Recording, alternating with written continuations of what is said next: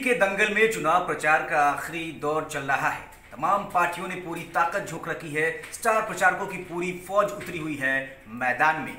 और बीजेपी की एक स्टार प्रचारक सपना चौधरी पहुँची थी दिल्ली की एक चुनावी सभा में। वहाँ उनका एक वीडियो जो है सोशल मीडिया पर वायरल हो रहा है। उस वीडियो में जब वो कहती है कि किसको वोट देंगे आप, पीछे से आवाज़ आती है और उसमें नाम आता है दिल्ली के मुख्यमंत्री और आम आदमी पार्टी के सबसे बड़े चेहरे अरविंद केजरीवाल का। हालाँकि इसके बाद सपना इस बात को टाल जाती है, झेप जाती है और फिर कहती है कि आप स्थानीय उम्मीदवार को भी वोट दे रहे हैं तो वोट मोदी जी को ही जा रहा है। आप ये वीडियो देखिए, ये वीडियो जो है सोशल मीडिया पर खूब वायरल हो रहा है।